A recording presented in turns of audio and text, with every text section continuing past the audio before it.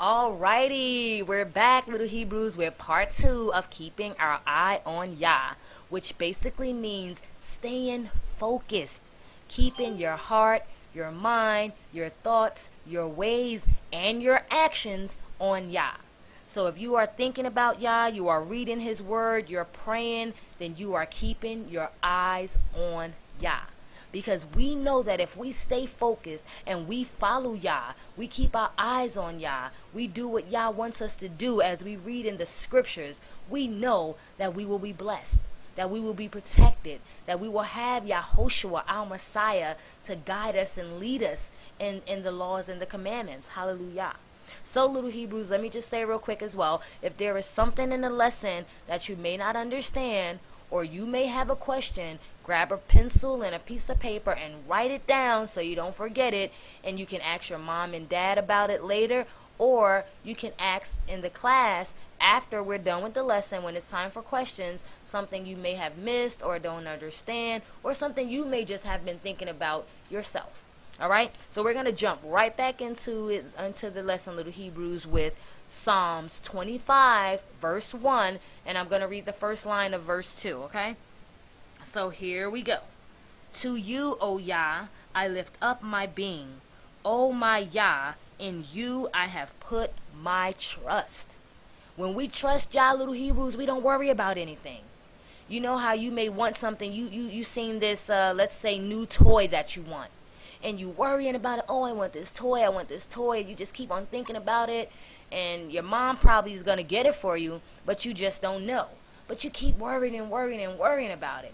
It doesn't help you get it any faster, does it? Because you still have to wait until she gives it to you. That's the same thing how it is with trusting and keeping our eyes on Yah, little Hebrews. When we trust in Yah, we have to be patient. There may be something that we pray about, like us, us adults. We pray about getting jobs, pray that our families are able to eat and have a place to live. But sometimes, little Hebrews, it doesn't always happen right when we pray. So because we trust in Yah and we keep our eyes on Yah, we know that He will bless us. And we have to wait and be patient. But Yah always, always sees us through, little Hebrews. And it's the same thing with you, little Hebrews. You have to keep your eyes on Yah. You have to trust in Yah and know that no matter what, Yah will be there. Hallelujah. There's a beautiful song that, and it says that Yah will be there uh, oh, okay. Now, don't uh, hold me to that song because I don't know all the words, but I do know that part. Alrighty, little Hebrews, we're going to continue on and we're going to jump to the next scripture, Psalms 92, verse 1. So let's turn there, little Hebrews. Alrighty. Oh. Sorry about that, little Hebrews. but 92, verse 1. It says, It is good to give thanks to Yah and to sing praises to his name, O Most High. Hallelujah, little Hebrews. It is good to give thanks to Yah. Whether you're having a good day, whether you're having a bad day, little Hebrews, praise Yah. No matter what, little Hebrews, if you just fall down, just get back up and wipe it off and say hallelujah. That's praising Yah. Hallelujah means praise you, Yah. Because no matter what, little Hebrews, we must always praise Yah.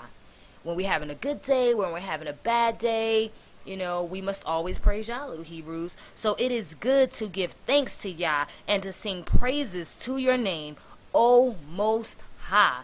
Hallelujah, little Hebrews. So awesome. So always remember that, little Hebrews.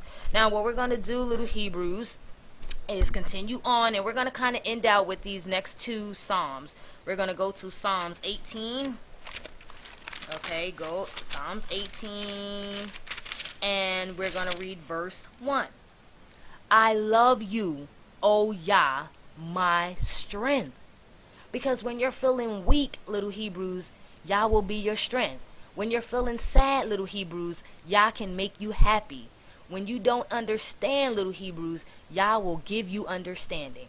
Little Hebrews always, always know that Yah loves you, He hears you, and He will be there with you through all things. That's what your parents are there for too, little Hebrews, because Yah uses them to protect you. Yah uses them to love you. Yah uses them to show you his ways, little Hebrews, because that's how wonderful our Yah is, little Hebrews. Let's read that again. Psalms 18, verse 1.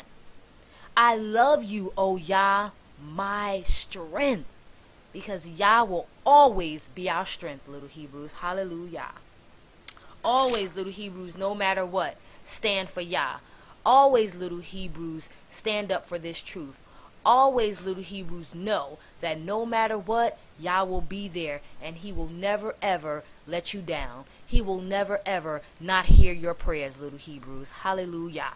So let's go to Psalms 146, little Hebrews, and we're starting to end this lesson out. I truly pray that you have understanding, and um, please forgive me for all the little noises that you probably heard in the background. I'm multitasking. all right, little Hebrews, Psalms 146. Is that?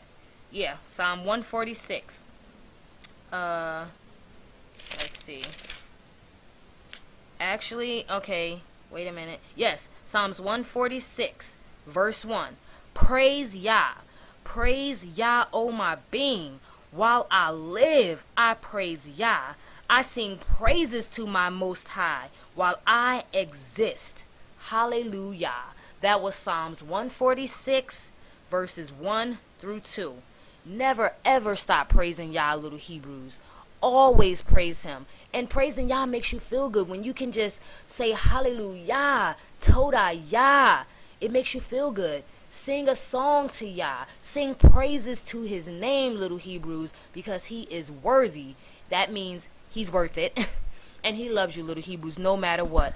Always remember to keep your eye on Yah by staying focused in his word, by keeping his law, statutes, and commandments, by honoring, respecting, and obeying your mother and your father and those who are in Yah. And also, little Hebrews, always remember this one little thing here always go to Yah in prayer. Pray every day, little Hebrews. If you can remember, pray in the morning when you wake up, pray in the afternoon, maybe before you take your nap, and pray at night before you go to sleep, little Hebrews. And if you can throw in a little prayer through the in the middle of the day, that's also fine. And always know, little Hebrews, even if you just have, if you just stop and you might just um, want to, let's say you're playing at the playground or something, you can stop and just think in your head to Yah. Yah, I thank you, I love you, Toda for protecting me. That's a prayer, little Hebrews. Just thinking about Yah, staying focused on Yah, keeping your eye on Yah. Hallelujah. And with that, little Hebrews, I will end out part two. Ima will come up and ask you some questions. And again, I pray, little Hebrews, that you got understanding. And remember, if there's something you don't understand or you have a question, get a pen or a pencil and a piece of paper, write it down, and you can ask your mom or your dad later, or you can ask in the in the class after the lesson is over during the question and answer uh, if we have time for it, okay? Toda for uh, letting me bring this lesson to you. I appreciate you all. I love you all, my little Hebrews. You guys are so wonderful and you make my Sabbath beautiful every time I come here to be with you. Love you, little Hebrews. Yah bless.